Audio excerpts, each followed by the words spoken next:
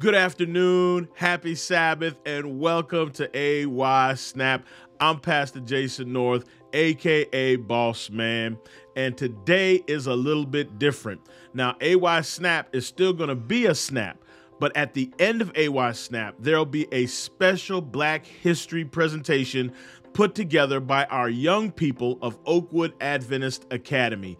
Listen, you are in for a treat. So remember to stay tuned as soon as AY Snap ends. All right? Hey, let's begin. Welcome to AY Snap. Man, it's in the snap. Have fun in the snap with AY Snap. Welcome to AY Snap, Snap, Snap, Snap, Snap, featuring Boss Man and Kaboom. Boom, boom, boom, boom, boom, boom, boom. Hey, what's up, everybody? It is another edition of AY. And as you can see, uh, I'm in a different location today, but it's still all good. Yes, sir. And this is what episode, Kaboom? What episode is this? This is episode number nine. Episode. Listen, we've been doing this for nine straight weeks, y'all. Nine Yes. straight weeks. And uh, we're still having a great time with it. Remember, listen, as we are, uh, as you're watching the video, you can put your comments in the chat section.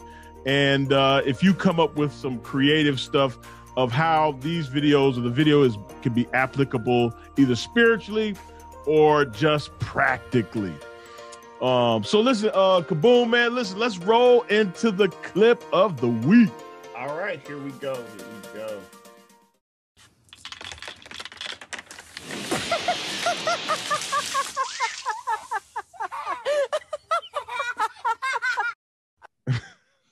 Oh Wow. no, no, no. Kaboom, man. What can we learn from this? What practical application can we get from this particular uh, video we see here? All right, so when watching the clip, like you heard like the laughter as soon as it started bubbling, like you heard the laughter, and I don't know if that was his sister, his mother, or whoever that was that was filming. I feel like the kid was set up. Like, Okay. I feel like yeah, he didn't know. It was kind of like because my thing is like he didn't have just one Mentos. He didn't have two. He had like twenty Mentos in his hand that he was trying to pour into the yeah. bottle. And I feel like whoever that was like set him up like, "Yo, we're gonna try an experiment. We're gonna Mm. try something like, yo, grab a bunch of Mentos and pour them into a bottle and let's see what happens." And you saw the kid was like looking into it, trying to see what development was gonna come, and then got blasted in the face. And so I right. feel like they were like, this is a it was a setup because they were already busting out Mm. laughing, and the kid was like, "Wah, ha, ha," trying to laugh, but it was kind of like a laugh of like, yeah, I just got embarrassed, but let me laugh this off. Let me, Ooh, okay. push it to the side. Like it, it really didn't bother me that much. Right. So what I think you can learn from, you don't always have to volunteer. Mm. Be the example Mm. of what people want to theory or what people want to test. Okay. There's All no right. need to volunteer. Like sometimes you can learn like, oh, that might be a good idea. Why don't we like see if somebody else tried it and watch a video? Like, don't always be like, yeah, I'll I'll, I'll do it. I'll do it, teach. I'll I'll do it, mom. I'll do it, sis. You don't Mm. always need to be the example. No doubt. No doubt. Don't be nobody's test dummy. You know what I'm saying? Exactly. Exactly. Gotcha. Gotcha. All right, man. Let's roll it one more time, man. Let's see what we get the spiritual application. All right, here we go.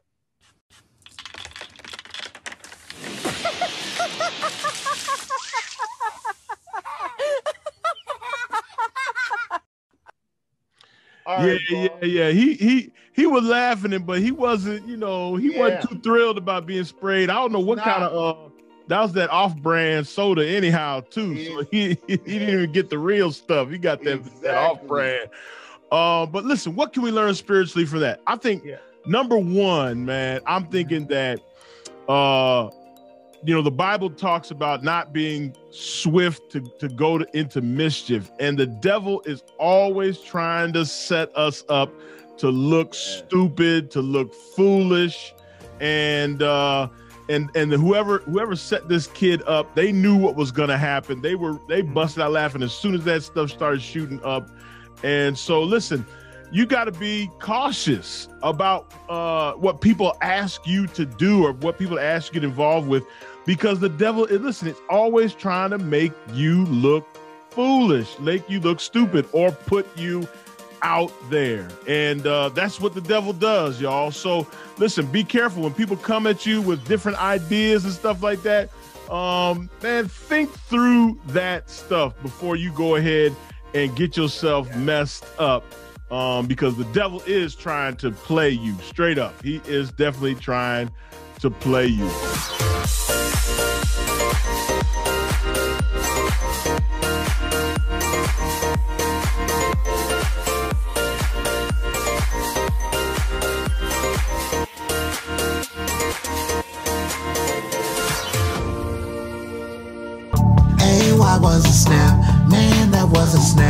See you next time on AY Snap.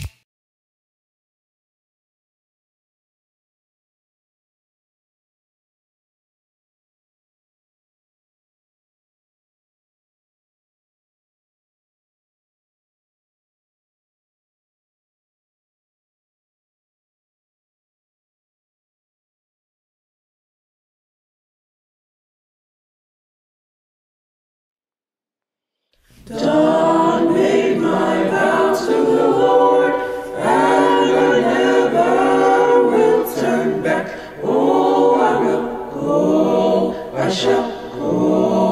to see what the end will be. Dawn made my vow to the Lord, and I never will turn back. Oh, I will go, I shall go to see what the end will be. Sometimes I'm up, sometimes I'm down. To see what the end will be. Sometimes I'm almost to the ground. To see what the end will be. If you don't believe I've been redeemed. To see what the end will be. just follow me down to Jordan Street. To see what the end will be. Dawn made my vow to the Lord,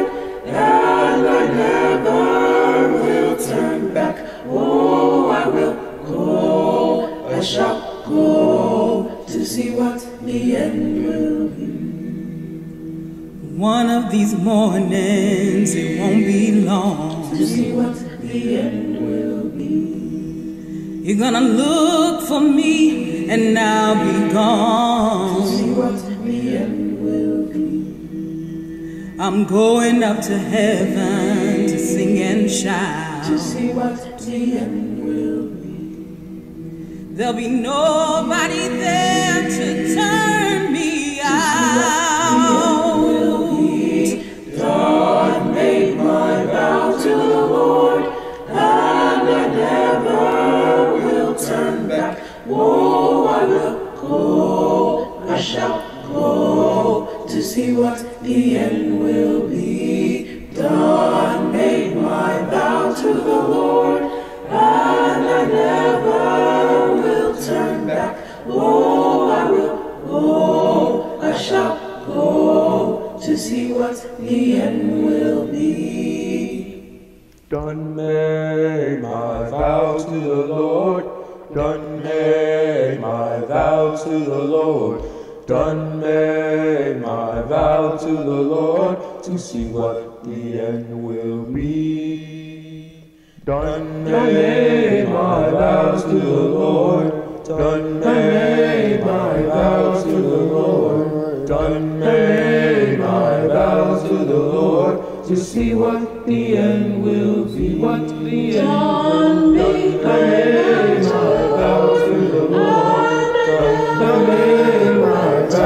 the Lord. Done. Done made my vow to the Lord to see what the end will be.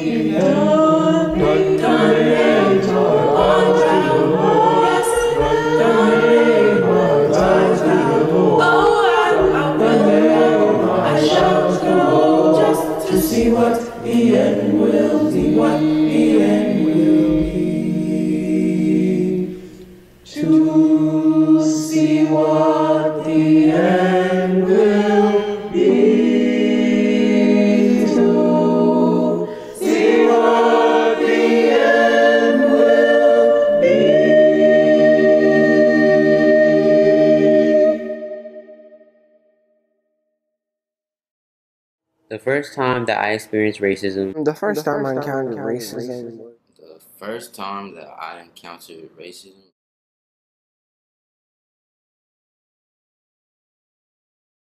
So the very first racist encounter that I had was last year around December. I went to the mall and I walked into a store and was just looking around with one of my friends. So we were looking and a worker walked up to us and said, um, are you guys okay? Do you need help? We were like, yeah, we're fine. So after that, this older white lady, she walked up to us right when the uh, worker was gonna walk up to us, and she was like, "Are you stealing? Why would you steal from this nice store?" And all these other things. And we were just looking at her like, we wouldn't steal anything. We've never stolen anything a day in our life because what's the point? So she goes on to say, "It's always the black kids. Y'all are stupid and not. You don't think. You don't use your brains that God gave you." And we're just sitting there and we're getting offended and upset at this point. So the worker who was following us walks over and is like, ma'am, calm down. What is your issue? She was like, these kids don't know what to do with their life. They all resort to, um, she said, ghetto lifestyle and stealing from folks and all that stuff. And the worker basically told her that we weren't stealing. He just needed to monitor monitor everybody in store, which he was. But she just decided to pick on us because of our skin color, I guess. That made me I was more mad than sad or upset maybe because it's like she doesn't even know me and she's already like trying to profile me because of what skin color I am, which makes no sense to me at all. So the first time that I remember encountering racism was about two or three years ago, and I played hangman with three of my friends. Two of them are white girls, and one of them's a black guy. Me and the black guy, we put an inappropriate word on the board because we were being childish. And then one of the white girls says, "Why y'all are acting like monkeys?" And me and him leave because we don't want to get into any of that kind of stuff. And when we come back, girl B says, "What's going on?" And girl A says, "They're acting like monkeys." And girl B says, "Yeah, because they are monkeys." And like that just hurts me because racism is just still alive in this world, even in the children. So, the first time I experienced racism would probably be when I was back home. Um, and it was actually the school I attended before this one was a predominantly white school. I was one of the three black kids. Uh, Everything was different. Like, every, at the beginning, before I like started actually like getting into my work and stuff, like it felt like people were treating me like I didn't know anything or like I wouldn't know anything. Like they would go out of their way to explain things to me specifically. Um, whenever I would get good grades, they'd be like, "Wow, you're so smart. That's so surprising." I'm like, "Why is that surprising?" And they would just go silent, and I'm like, the first time that I experienced racism was when I was in the third grade and a younger white girl in my neighborhood called me a Negro. It made me feel lower than a human being and stuck with me for a very long time, going back and forth in my head, and it really gave me a bad and horrible feeling. The first time I ever experienced racism was when I was in second grade, and uh, my class we watched uh, Ruby Bridges, the movie about her and what she has to go through. The first time I experienced racism, I felt sad and as if I didn't belong. Um, the first time I encountered racism was I think in sixth grade. I had been at the YMCA summer camp. Um, I used to have this, this group of people I used to try and hang out with. There was this one kid who used to just get upset at me randomly. Um, one thing he'd say was, "I'm gonna slap the black off of you if you do that again." Um, I didn't know how to respond to that, so like one day I just wanted to tell my parents about it, and they went and dealt with it. But I, I never, I didn't realize what that meant. You know, I didn't realize how bad that was. Him saying that, but yeah, I guess I guess some people just are messed up like that. You know.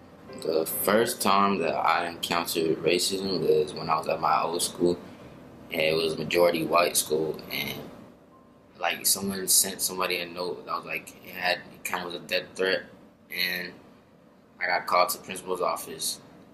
Like they went through my stuff and they found like a drawing that was close. It was it was barely like there was a drawing on the note, and it was barely it barely looked like the um the pic like my picture that I drew. So like I almost got in trouble for that. And my hairstyles was another thing. Like, whenever I would have braids, they would be like, "Oh my gosh, I didn't know your hair was so long. It always looks so short." One day I came in with an afro, like because I like to wear my head my hair in a fro sometimes, and they lost it. Like they completely lost it. Like they were like, "Oh my gosh, did you cut your hair? You forgot to do your hair this morning. Why didn't you do your hair this morning?" And I was like, "I did. I did my hair." And they're like, "That's not done.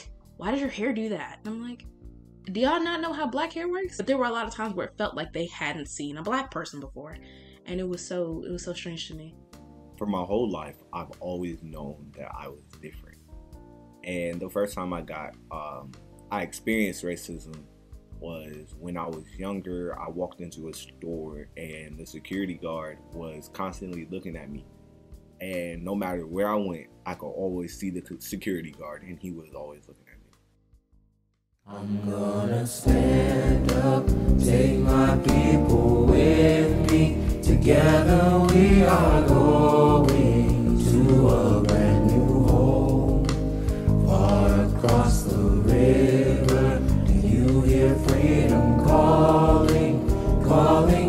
to answer. Gonna keep on keeping on.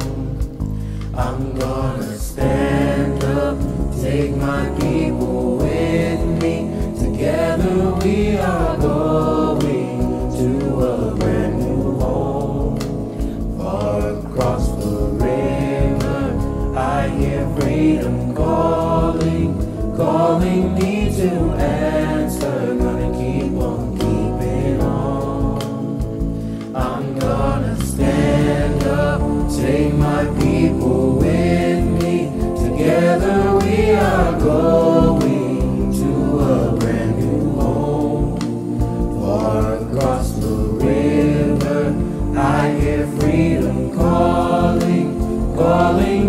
Answer. Gonna keep on keeping on. I can feel it in my bones.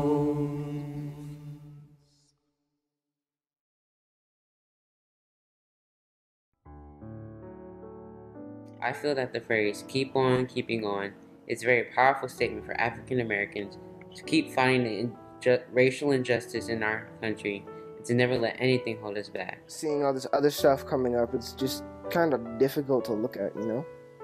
But you gotta, I guess, pray and keep moving forward because a lot of the stuff is just not gonna change. You gotta hope that they, they realize how messed up it is.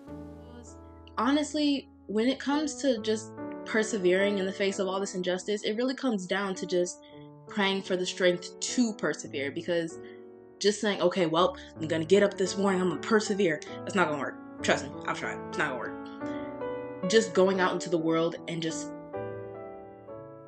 thinking that you can just do anything because racism hasn't encountered you specifically is not a good way to go about life. Like, you're gonna experience it at some point, and you have to be able to call upon the strength that you're gonna need to persevere. Like, after after all that's happening, it's it's it's gone past the point where it's just like, well, it's just a small inconvenience. I'll just keep going on my day. No, at this point, it could get you killed.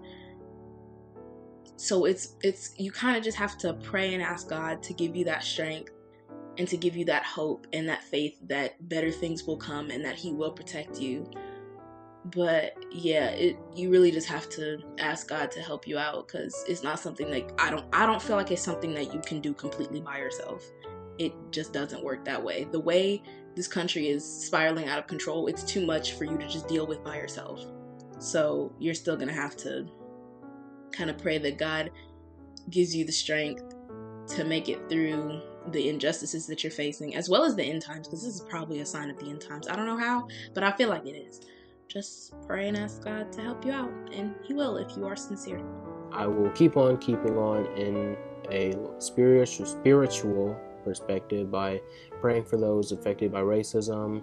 I plan to keep on keeping on by not simply turning the other cheek, but praying for that person or saying kind words back, even though it can be very hard at times. Like the way that I think like we can stop racism is like it's because most of the time we're like all to ourselves. Like the black community and the white community, like most of the time in most situations we're all to ourselves. Like we're not talking to like each community is not like together. Like they're not talking to each other. Like, but like like I know there are people that are like friends with uh like friends with white people or like they go to school like they're bros with white people, but like we're not really like connected connected like that. That so I feel like we should like get together and stuff and do more things together. Well, one thing that I noticed is that they always kept pushing forward. And when I say they, I mean the people that came before us, like Rosa Parks, Martin Luther King, Harriet Tubman, Frederick Douglass. They all kept pushing forward, and that's all I can do because what I'm experiencing is nothing compared to what they are, what they experienced when they were alive. So all I can do is push forward, and I hope you guys can do that too. So I would say, like, for people who deals with this stuff, like on a daily basis, no matter where they go, they should really turn to God because you can have that type of um, stuff done to you and still be a happy person only because you have God in your life. And if you get profiled like that, it won't. Uh, it'll affect you, of course, but you won't get upset and feel some type of way because you have God on your side. Because praying works, and He will do a lot for you.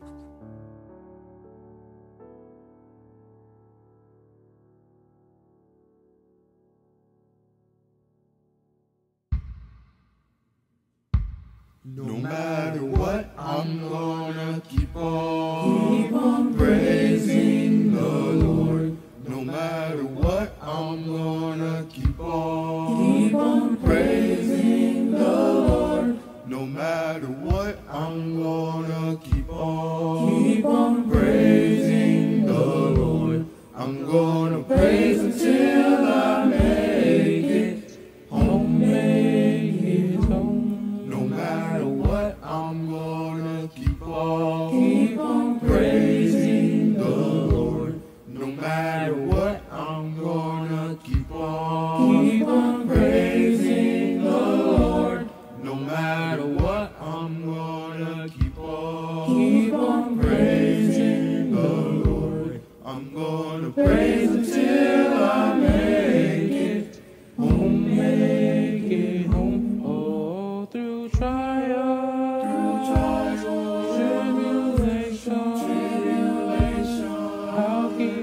praising,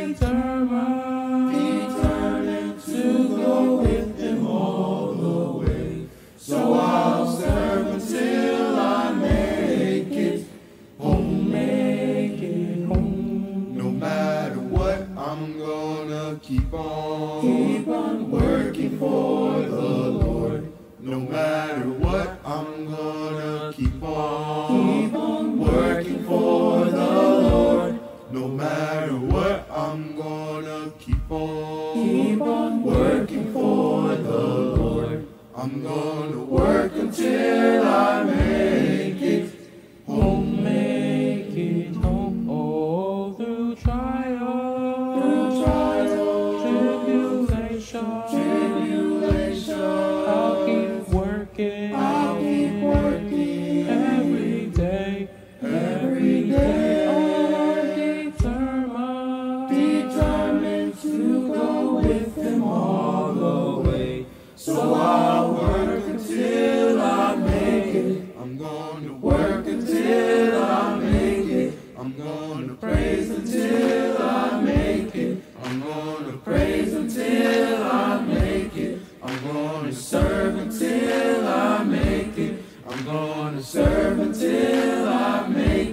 I'm gonna work until I make it. I'm gonna work until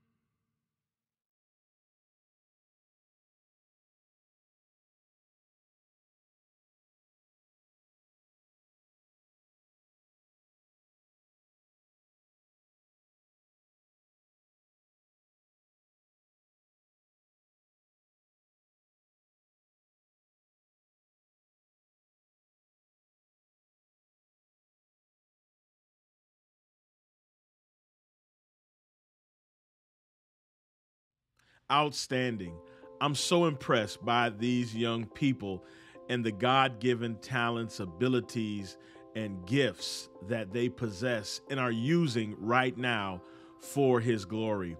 We definitely want to thank Miss White, who produced this Black History presentation and put this together. So, once again, that has been today's AY Snap. I'm Pastor Jason North here at the Oakwood University Church, and this has been AY. God bless you.